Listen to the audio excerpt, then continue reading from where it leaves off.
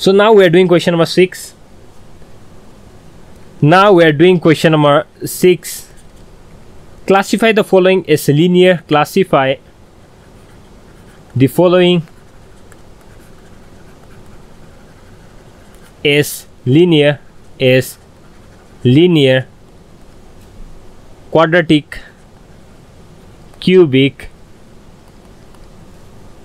and biquadratic and biquadratic and biquadratic get that down. Okay. Polynomials okay. Polynomials. Okay. Now room number one. X minus x square. So here the highest degree okay? It is 2 okay? If it is 2 such thing then it is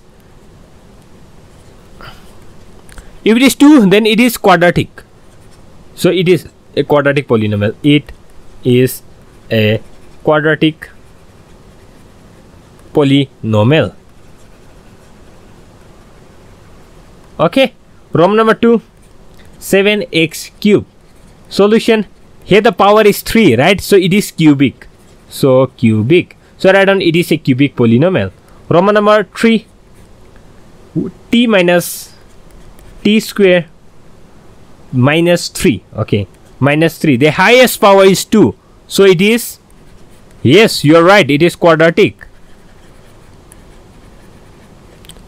Okay let us take the next question. Roman number 4 what is roman number 4 we have 2 plus 3x 2 plus 3x so solution.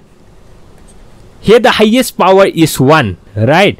So this one higher if highest power is 1 it is linear. Okay write down it is a linear polynomial. Roman number 5 y to the power 4 here it is power 4 so if it is power 4 then it is biquadratic biquadratic.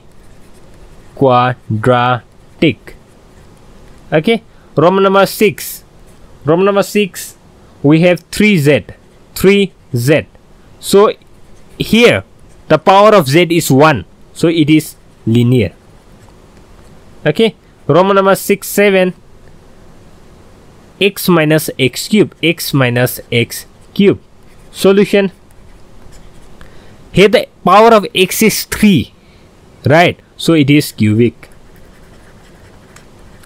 Roman number 7 8 the last one.